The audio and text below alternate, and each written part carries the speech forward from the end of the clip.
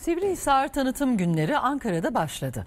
7'den 70'e ilgi gösterilen etkinlikte yöresel ürünler sergilendi. Halk oyunları ve çocuklar için birçok etkinlik düzenlendi.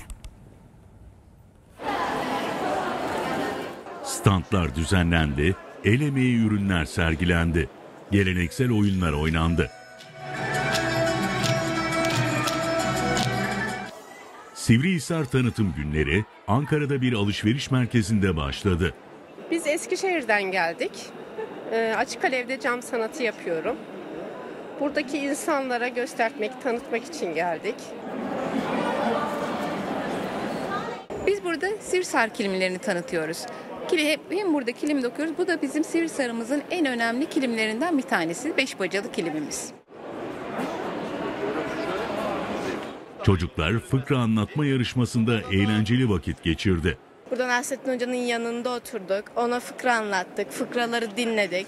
Ben tarhana çorbası fıkrasını anlattım. Parayı veren düdüğü çalar değil mi? Eskişehir'le ilgili çok e, güzel şeyler öğrendim. Yemekleriydi, takılarıydı, Ebru sanatlarıydı, Nasrettin Hoca'nın fıkralarıydı. Çok eğlenceli geçti. Bir sürü etkinlik vardı. Burada Ebru falan yaptık arkadaşlarımıza. Balon oynadık, balon yarışması yaptık. Tişört falan kazandık zaten. Sivrihisar tanıtım günleri 25 Aralık Pazar günü saat 22'ye kadar sürecek.